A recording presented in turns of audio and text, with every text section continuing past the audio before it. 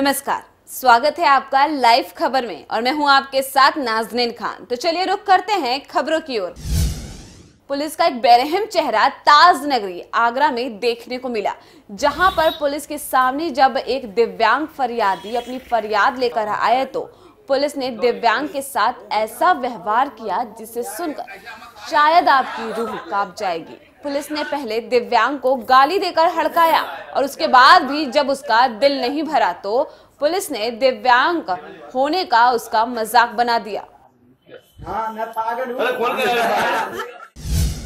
फरुखाबाद में बढ़ती महँगाई से पेट्रोल डीजल की कीमतों में लगातार हो रही बढ़ोतरी से परेशान लोगों की समस्याओं को लेकर किसान यूनियन कार्यकर्ताओं ने विरोध मार्च निकाला। वहीं विरोध मार्च फतेहगढ़ चौराहे से शुरू होकर फतेहगढ़ कलेक्टर तक निकाला गया।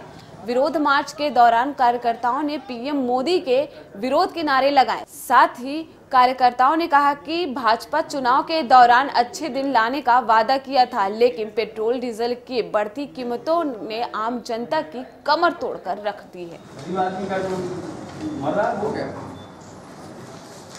दाम बढ़ रहा है डीजल पेट्रोल में काफ़ी बढ़ोतरी हो गई है जिससे किराए भाड़े में महँगाई हुई है जब भाड़े में महँगाई हुई है तो इस हिसाब से सभी वस्तुओं के मूल्य बढ़ेंगे। इसके अलावा जो है कुछ आश्रम है यहाँ पर। नहीं आप अभी जो अर्थी सजा के लाए थे वो किसकी अर्थी थी? ये कहाँ से लाए थे और कहाँ? हम लोग जो है नगर के मुख्य मार्गों से भ्रमण करते हुए कलेक्टर तक लाए थे? और अर्थी जो है भ्रष्टाचार और महँगाई की थी। अब भ्रष्टाचार और महँगाई की थी, लेकिन आप समझ लीजिए कि महँगाई का जिम्मेदार कौन है जो जिम्मेदार था, महँगाई का आका उसी की थी। फरुखाबाद ज़िले के एसोसिएशन चुनाव के लिए मतदान शुरू हो गया है। वहीं चुनाव की कड़ी निगरानी रखने के लिए 18 अधिवक्ताओं की टीम भी लगाई गई है, जिसमें तकरीबन पंद्रह मतदाता वोट डालेंगे, जहाँ एसोसिएशन में चुनाव संपन्न कराने के लिए तीन संसदीय चुनाव समिति का गठन भी किया गया है। साथ ही मतदान के दौरान गड़बड़ी न हो, इसके लिए निगरानी समिति के वकीलों को तैनात भी किया गया है।